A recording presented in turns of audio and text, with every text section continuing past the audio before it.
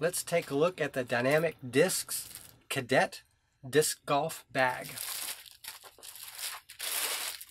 So this is the Avengers version of this uh, bag, more particularly the Captain America uh, version. And uh, I'm going to put this down on a table so you can see it a little bit better. Okay, here we go. Here's the bag front and back. And then on the side here, here's a pocket that you can store some items in. Here's the area where you would store the discs themselves, two areas. Put it down, this here well, keep it up like that. And here is a section for the drink bottle, which you can put in. And here is the strap. Okay, now let's see about putting some discs in it. Okay, now we have a complement of discs to put in it. Let's put in a bunch of drivers into the bag. Here's another driver.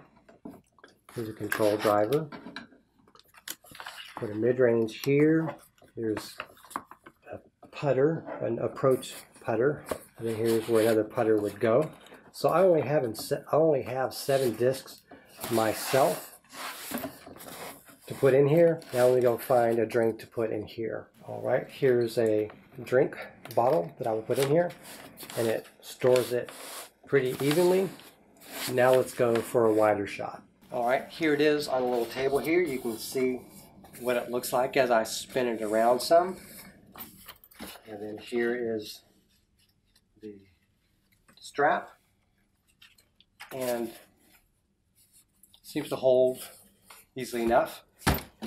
You take out the disc and then throw your putter.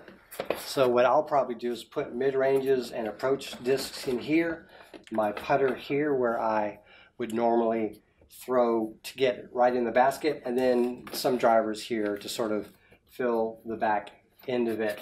And so it seems to hold seven just fine. There's a one other thing I wanted to show you. You can get like a little disc golf bag towel. Here's one from Dynamic Disc for like about 10 bucks. You could basically tuck this in here as, as well. And if you move this strap out of the way, there's also this cover here that you can zip up. And then on here, you can put like your keys, your wallet, your smartphone, or any other carryable in here, and then zip it up. And then you could basically seal this like so, leaving your putter or two putters here for easy access. Oh, I didn't see you there. So here's the bag. And I adjusted the strap to a proper length for me.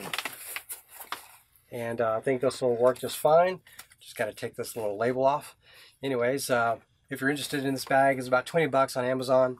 And you can also buy it from the Dynamics Disc website. And I'll just put the links to all that down below. Thank you very much for watching and have a great day.